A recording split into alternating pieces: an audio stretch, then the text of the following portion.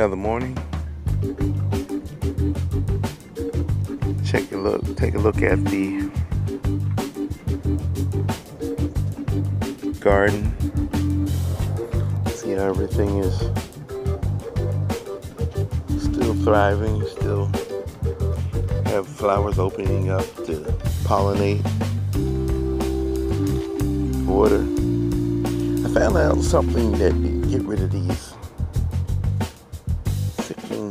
fire ants. Beautiful sunflower. And it's a fly. It's an actual fly. Isn't that amazing? A fly. Yes, a fly that is going to lay its larva inside of the ant. When it does that, the larva inside the ant starts growing inside the ant. And then it'll actually pop off the head of the ant from the inside out. It's amazing. It's amazing.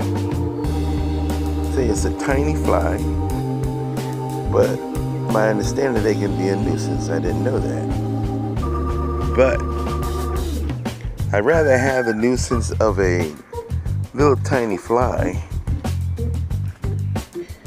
than to have the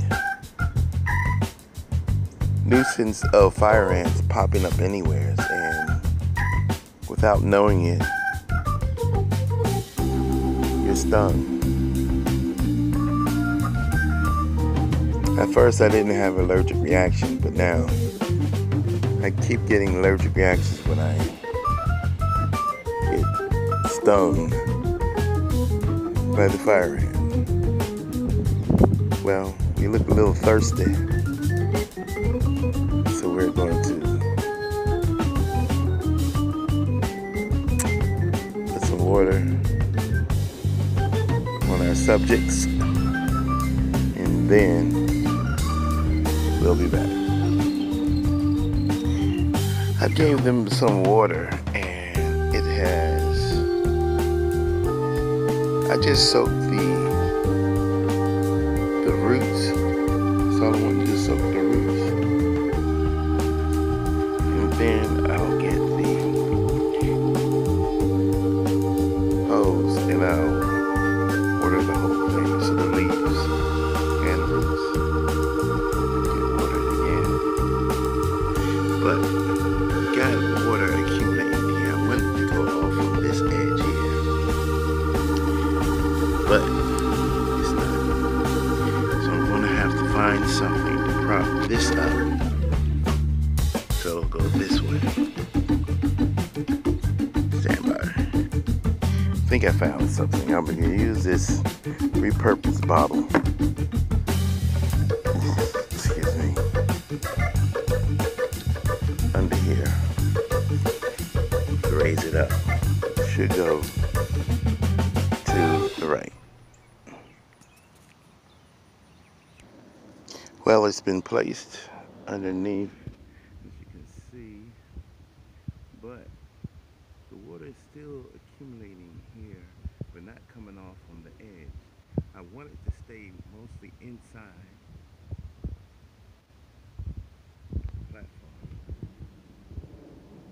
So, I may have to raise this end up right here in order for the water to flow all the way that way into this bucket.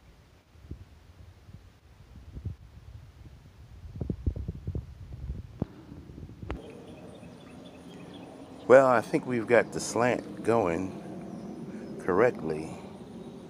So what we'll do, as you can see, it's all accumulating over here in this corner.